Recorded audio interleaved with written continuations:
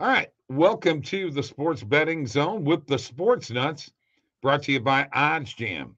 35% off your first month with Odds Jam. That code is SB Zone 21. You better get on that, folks.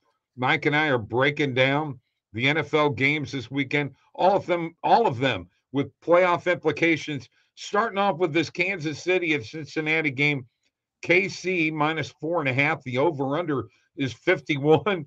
Mike, this is such a huge game for Cincinnati.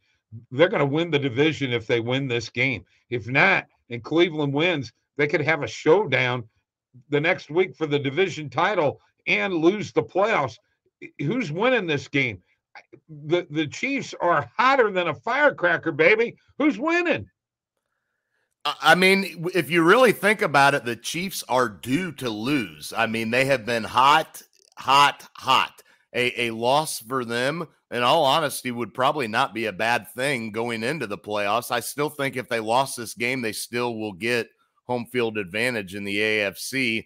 Um, Cincinnati needs this game desperately, but um, you know, Cincinnati has been a very, very inconsistent team for me, Bob. I mean, we saw what happened a few weeks ago against a Chargers team who have been a letdown uh, that was a game that they just absolutely threw away. Uh, I think the we, Chargers always make it into the conversation. Well, it's relevant. So, it's somehow relevant. they always do. It's got to be about the Chargers all no, the time. No, it doesn't have to be about the Chargers. It has to do with this. The Chargers and the Chiefs are pretty um, similar teams in a sense offensively. Okay. I think that when you look at that matchup that the Chiefs and Chargers just had on Thursday night football, and then you see the success the Chargers had against the Bengals, I think Kansas City is going to be able to have that same su- success, Bob. Okay. No, no okay. doubt.